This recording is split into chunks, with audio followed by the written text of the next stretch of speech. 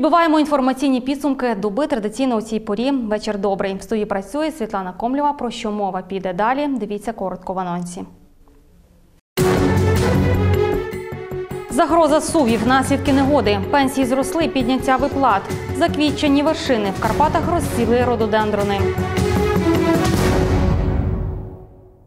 Закарпаття поступово оговтується після повені. Нагадаємо, минулого тижня внаслідок зливових дощів були підтоплені дворогосподарства, зокрема на Рахівщині. Також внаслідок опадів були розмиті дороги та пошкоджені мостові переправи. І вже в понеділок розмило дорогу на Міжгірщині. Наразі тут працюють рятувальники. Вони розчищають від намулу тутешні дворогосподарства. Під загрозою сувів перебувають кілька будинків.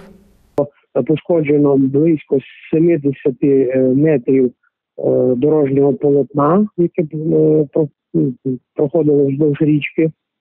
Е, Також е, зареєстровано сувний процес. У зоні суву опинилося шість житлових будинків.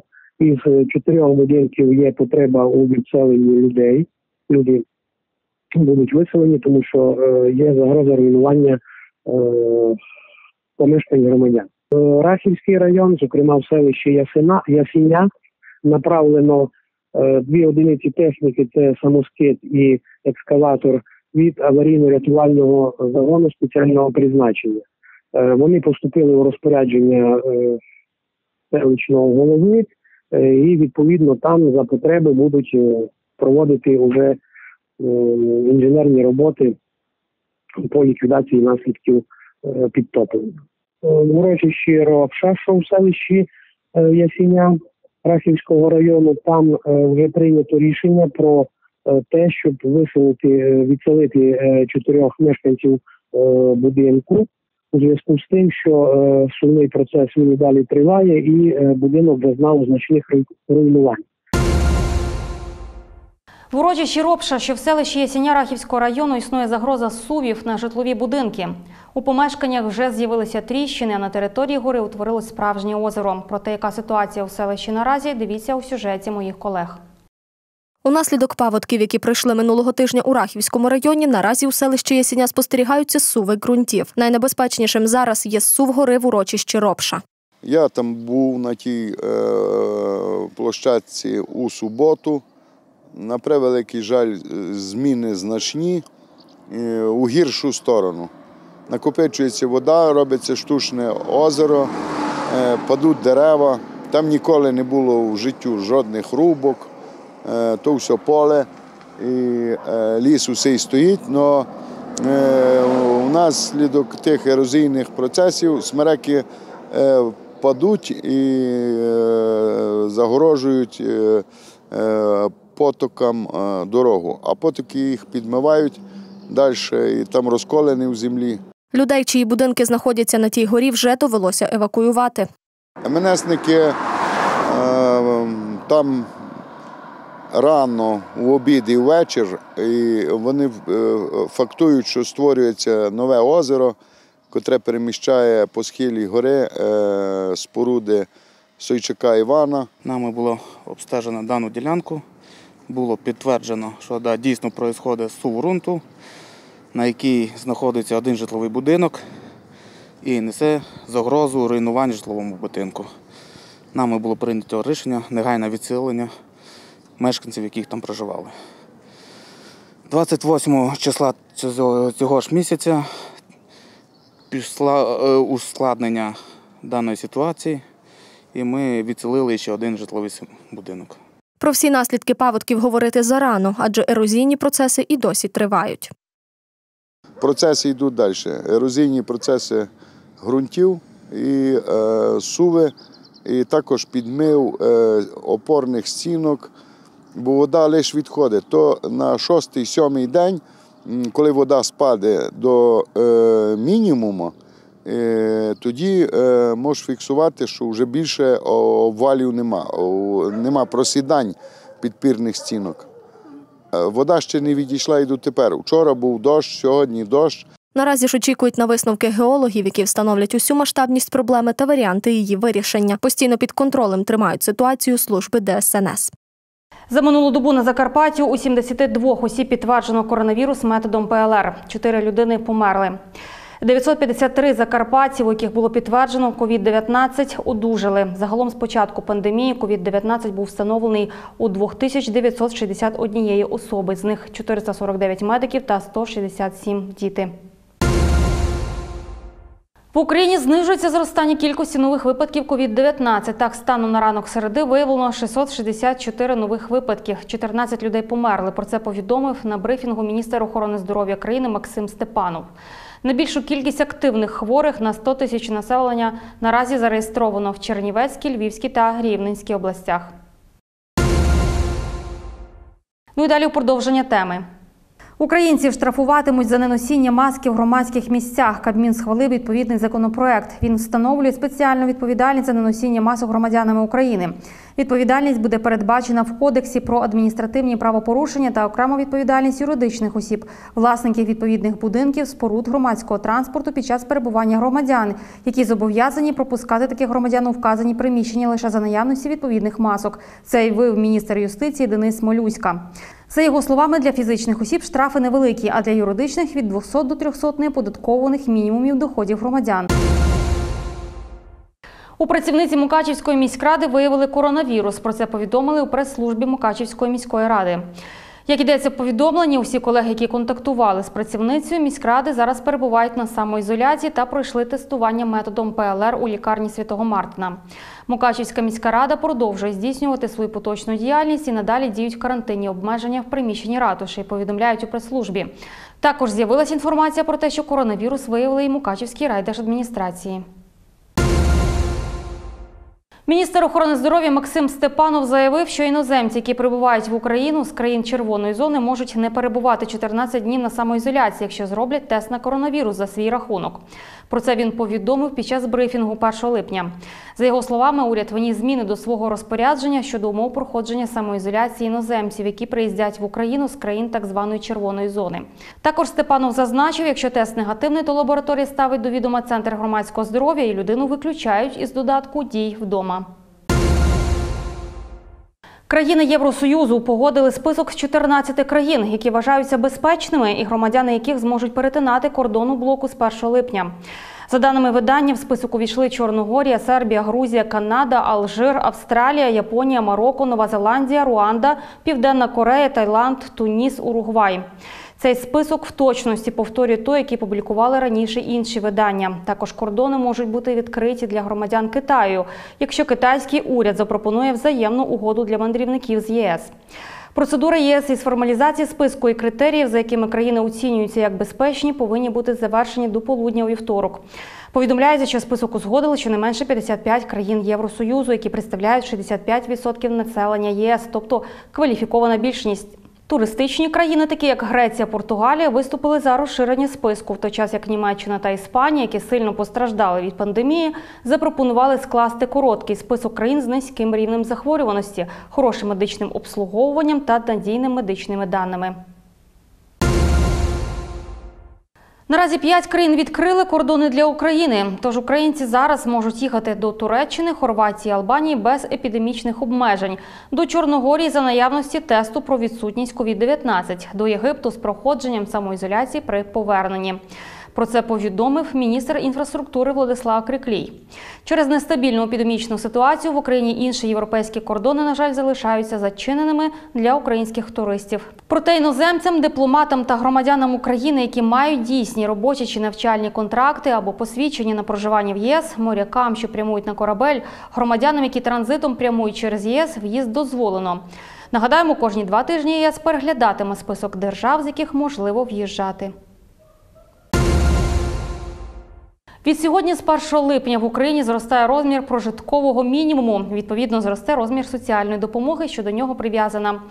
Тож розмір прожиткового мінімуму зростає згідно зі статтею 7 закону про державний бюджет України на 2020 рік. Так, з 1 липня прожитковий мінімум на одну особу на місяць становитиме 2118 гривень. Для дітей віком до 6 років він становитиме 1859 гривень.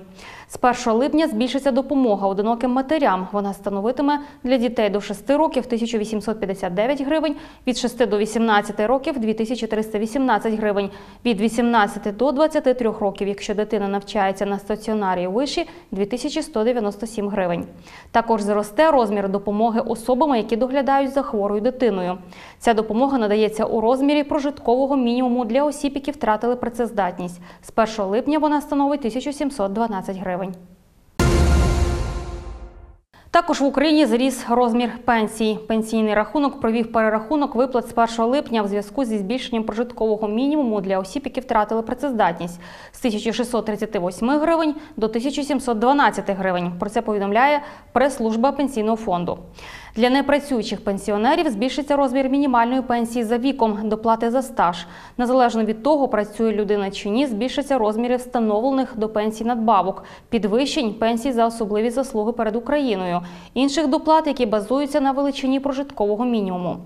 Розмір підвищення пенсії за результатами перерахунку залежить від того, які складові входять в пенсійну виплату, яка розраховується від прожиткового мінімуму. Соціальна пенсія також зросте до 1712 гривень.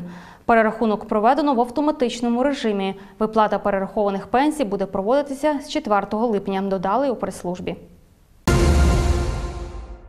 Яким чином відбувається перерахунок пенсій на Закарпатті та кого саме торкнеться підвищення, розкаже Ірина Ковальчук. На 74 гривні з 1638 до 1712 гривень зріс з 1 липня 2020 року прожитковий мінімум для осіб, які втратили працездатність. Це стало підставою для чергового перерахунку пенсій. Чув, що піднімуть пенсії. Десь, я знаю, не знаю. Якщо прив'яжу до мінімалки, то десь, я знаю, гривні, думаю, 200-300. При нинішніх цінах могли б бути пенсії відповідати е, цінам.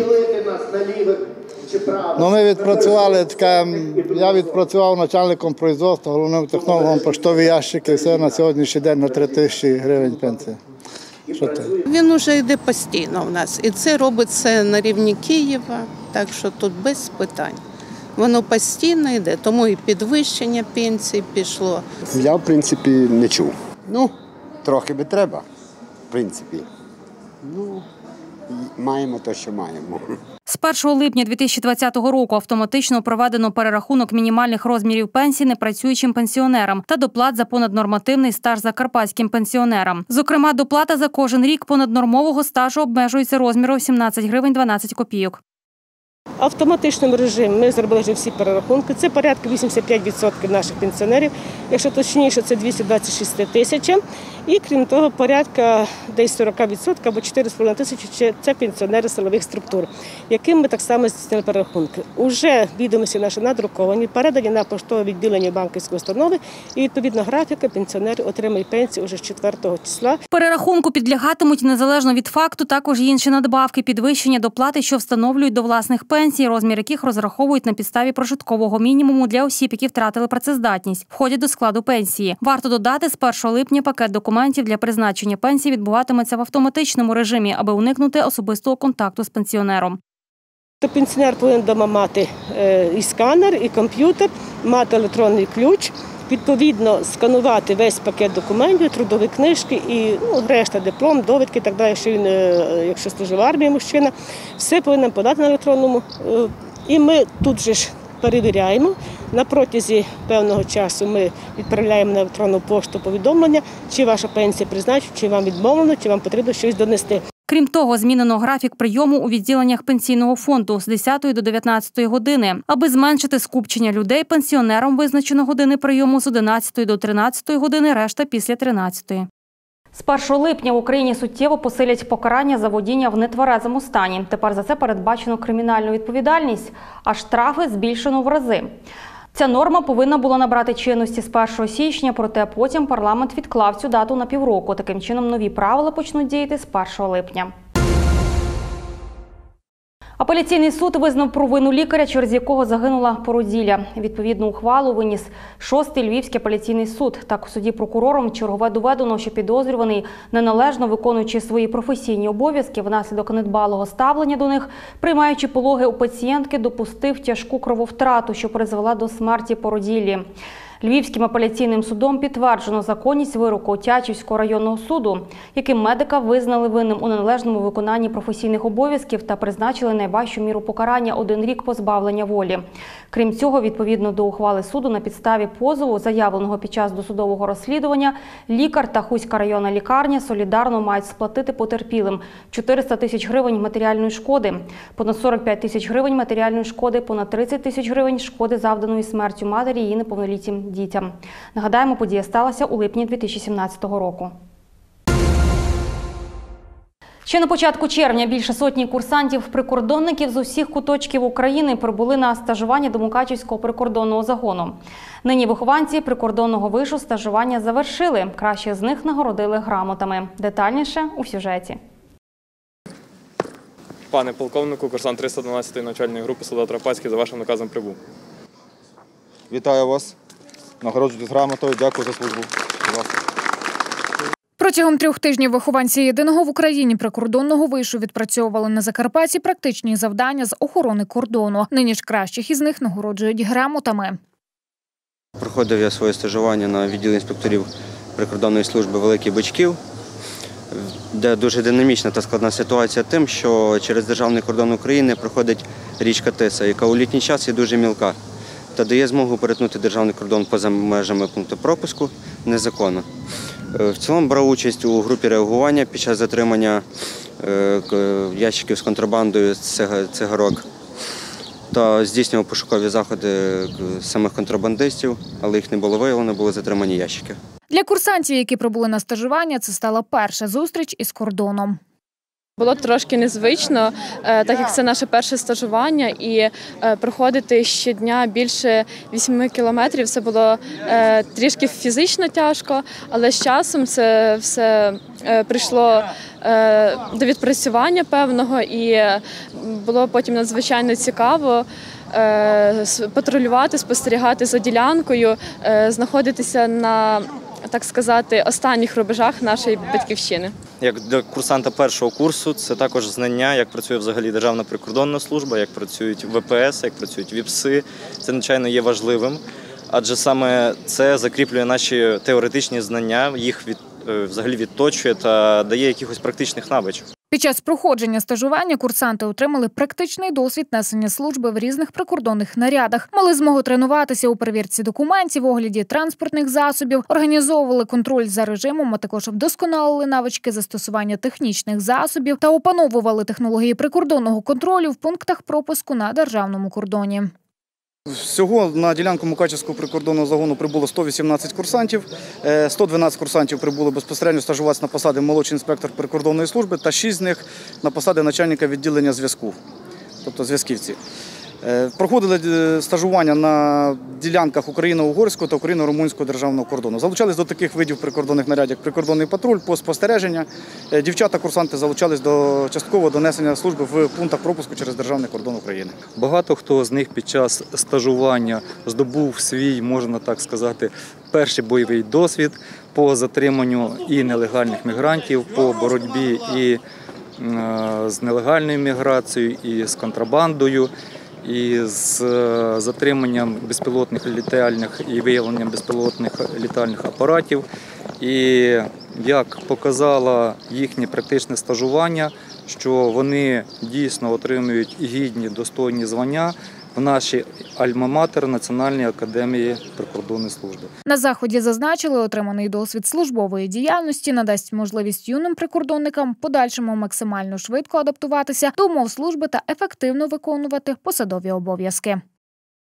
В Ужгороді на площі Петефі тривають роботи з оновлення одного з найпопулярніших скверів. Тут уже помітні позитивні зміни. Будівельники облаштували більшу частину пішохідних доріжок, підготували майданчики для встановлення велопарковок та лавиць. Уже невдовзі ужгородці зможуть тут комфортно відпочити під пишними кронами дерев. На площі Петефі у сквері вже місяць кипить робота. Улюблена зона відпочинку містян у центрі Ужгорода змінюється на очах. Нині будівельники тут активно встановлюють бруківку на пішохідних доріжках та монтують вуличне освітлення. І вже готові облаштовувати під розлогими деревами лавиці. Поруч будуть смітники. У сквері також оновлять трав'яний газон, перевтілений парк до вподоби містянам. Навіть зараз, коли ще триває ремонт, тут людно. Конструктивно, чудово. По кольору чудово.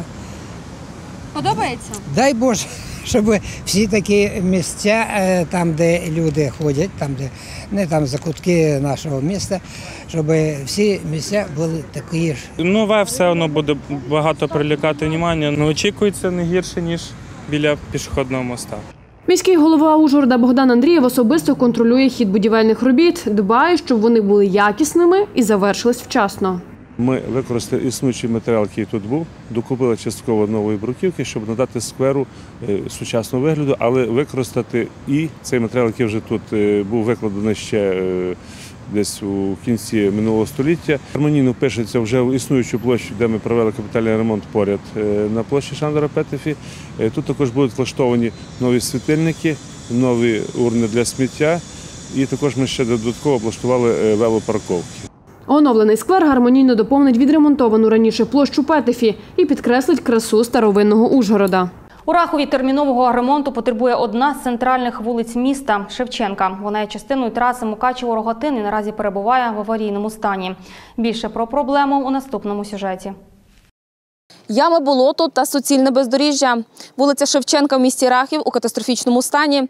Вулиця Шевченка в Рахові невід'ємна складова траси Мукачево-Рогатин і об'їзна дорога. Наразі перекрита, адже перебуває у аварійному стані. Їздять нею лише власники тамтешніх дворогосподарств. Інші ж керманичі автівок змушені щоразу проїжджати центром міста. Звідси сильно перевантажена транспортом дорога, ускладнений рух та затори.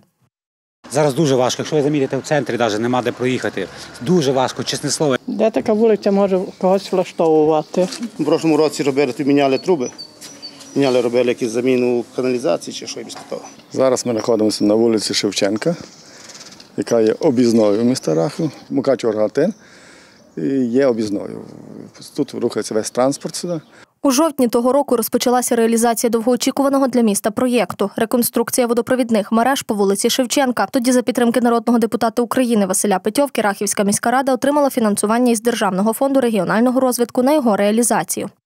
Ми виконали фактично всі роботи, які були передбачені проектом. Це водопровід, це каналізація, водовідведення каналізація і ливнева каналізація.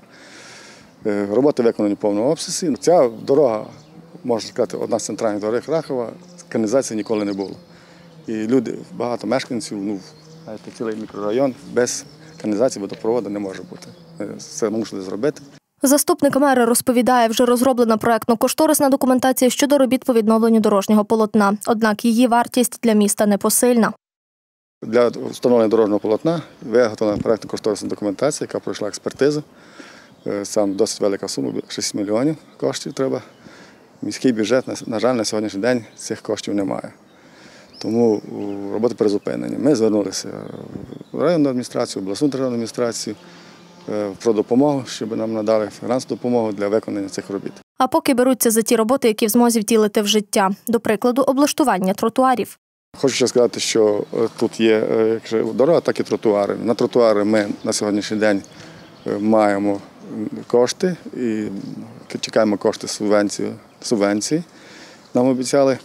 І оголошуємо тендер, і вже будемо розпочинати роботу після закінчення тендеру про встановлення тротуарів. Майже 50% наших, 50% державної субвенції.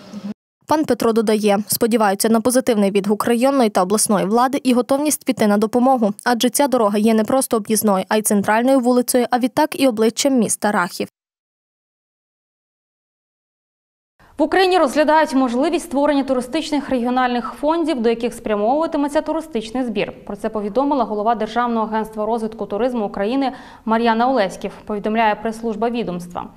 Створення таких фондів та цільове спрямування туристичного збору дасть змогу ефективно його використовувати. Разом зі змінами до закону про туризм це сприятиме вибудованню ефективної системи управління туристичною галузю, зазначила Олеськів. Відповідний законопроект вже зареєстровано у Верховній Раді. В документі пропонується нова система спрямування туристичного збору. Так створять цільові туристичні регіональні фонди, до яких спрямовують туристичний збір, цільові внески підприємств та громадян на реалізацію стратегії розвитку туризму, кошти місцевого та державного бюджетів, кошти грантів та міжнародної допомоги. Щороку в червні Карпати вкривають світ рододендрона, який народі називають червоною рутою. Цьогоріч через погодні умови період квіту трохи змістився, тому туристи ще мають змогу ним насолодитися. Проте для цього доведеться піднятися аж на Чорну гору або ж переглянути наш наступний відеоматеріал. Червону руту не шукай вечорами, адже найкраще її цвітіння можна насолодитися вдень, у другій половині червня на схилах Карпат, коли полонини потопають у рожевому квіті. Зазвичай пік цвітіння рододендрона в Карпатах середина червня. Цього ж року, через холодну весну, він трохи змістився і фактично масово заквіт в кінці місяця. Тепер ще протягом мінімум тижня чорногірський та мараморозький хребти вкриватимуть рожеві килими. Щонайменше ще тиждень буде радувати навіть до наступних вихідних своїм буянням. І якраз ось Спіп Іван Чорногірський або Чорна гора, так правильніше, одне з найбільших місць цвітіння, буяння якраз саме рододедронів. Ну і звичайно, це такий період, коли хочеться побачити цю красу, насолоджуватися нею. Рододендрон квітка особлива, занесена до Червоної книги України. І окрім народної назви Червона рута, іноді можна почути, що її називають бердуляком, збурником, кашкарою, когітником, омегою чи чорногривником. Проте, незалежно від назви, щороку глянути, як вона квітне, їдуть тисячі туристів. Не лякає їх ні довга дорога, ні непростий маршрут на чорногірський хребет. Е, Я перший раз побачила. Вони дуже красиві. Тепер я вже знаю, яка тут червона рута. Цю дівчинку звуть Таїсія. Їй 4 роки, і незважаючи на всю складність підйому, вона його здолала і здійснила міні-мрію, як свою, так і батькову. Я люблю очень синие горы. Я очень хотел, чтобы она увидела цветение рододен- рододендронов и все. Только поэтому я ее взял. Про цвітіння рододендронів можна говорити скільки завгодно, проте це той самий випадок, коли краще один раз побачити, ніж сто разів почути. До того ж, на власні очі, адже які б ідеально красиві не були кадри, передати всю красу через екран неможливо. А тому радимо збиратися і йти в далекі гори. Ну і це було останнє повідомлення випуску. І вже завтра в програмі Час ви побачите. Дахи течуть, вирішення проблеми, поширення коронавірусу, епідемічна ситуація. На цьому наш випуск завершений. Дякую за увагу та за довіру до телеканалу. В студії працювала Світлана Комлєва. Бережіть себе на все добре.